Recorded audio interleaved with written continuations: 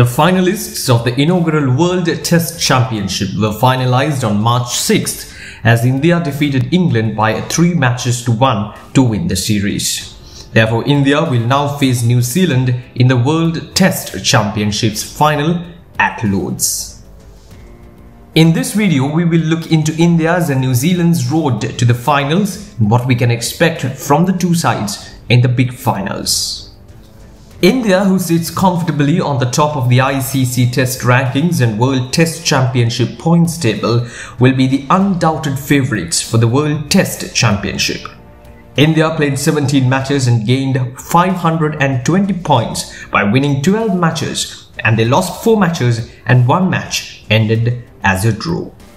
Against West Indies, they won the series 2-0 and then the Freedom Trophy played between India and South Africa. India went on to win the series by 3-0. It was followed by another 2-0 win against Bangladesh at home. Then the men in blue went to New Zealand but ended up losing the series 2-0. They bounced back in Australia with a historical 2-1 victory in a 4-match series. And the latest series which was against England India won by 3-1 margin, winning the last match at Ahmedabad by an innings and 25 runs. And this win reserved their position in the finals against New Zealand. New Zealand on the other hand played 11 matches and won 7 out of them and lost 4 matches. They accumulated 420 points across 5 series. The first series, which was against Sri Lanka, ended up as a draw and it was followed by another 3-0 loss against Australia in Australia.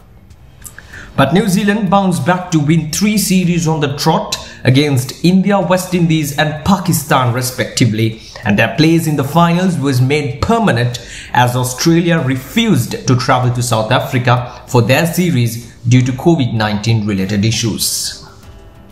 The finals of the World Test Championship is set to be played on 18th of June to 22nd and though it was finalized the Lords shall host the World Test Championship final, the recent events regarding the COVID-19 has led some speculations over changing the venue.